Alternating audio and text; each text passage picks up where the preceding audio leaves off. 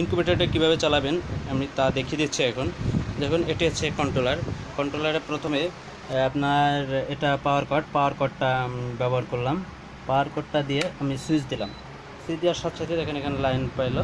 Line পাওয়ার পরে এটা আপনার কন্ট্রোলারটি স্টার্ট হবে। এটার তাপ প্রয়োজন হলে আমি মাত্র টেস্ট করার জন্য ইয়ে করছিলাম, এর জন্য তাপ ভিতরে এখনও রয়ে গেছে। প্রয়োজন হলে সে আপনার করবে, গরম করে নেবে। আর এটা হচ্ছে জানালা। জানালাটা এই পরিমাণ খুলে রাখবে।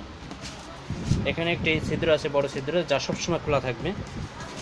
খেয়াল রাখবেন, প্রত্যেকটি কথা আমি বলে দিচ্ছি। এখানে আপনার দুটো লাইট আছে। এই সাইডে, এই ফ্যানের সাইডে একটু বেশি পাওয়ারের লাইট ব্যবহার করব এবং এই সাইডে কম পাওয়ারের লাইট। অনলি চল্লিশ পাওয়ারের, আর এখানে ষাট ওয়াটের একটা লাইট ব্যবহার করলে হবে গরমের সময়।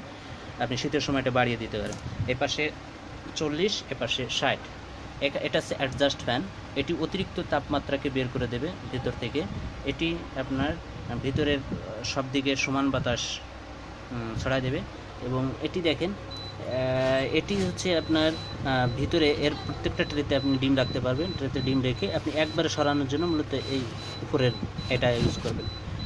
এটারও সেম একই কাহিনী। প্রত্যেকটা ট্রেতে ডিম রেখে আপনি করতে পারবেন। এটাও একই। এবং আরেকটা জিনিস বলে দিই, সেটা হচ্ছে আপনি প্রত্যেকটা ট্রেকে আপনি এভাবে খুলতে পারবেন। প্রথমে যখন নিচের ট্রেটাতে আপনি ডিম বসাবেন, তখন আপনি প্রত্যেকটা আপনি দেখেন অনায়াসে কিন্তু এগুলো খুলে যাবে। এটা কিন্তু প্রত্যেকটা আপনার আস্তে আস্তে এভাবে খুলে ফেলবেন। খুলে তারপরে আপনি ডিমগুলো বসাবেন। এইভাবে মূলত এভাবে আপনার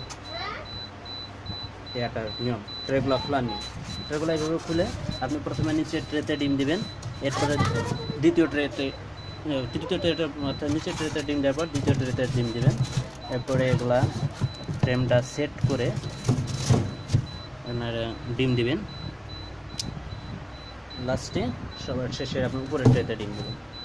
তেমন প্রত্যেকটা ট্রে ডিমটা ছয় ঘন্টায় একটু খেয়াল রাখবেন, ছয় ঘন্টায় একবার অন্তত ঘোরানো পরে এভাবে।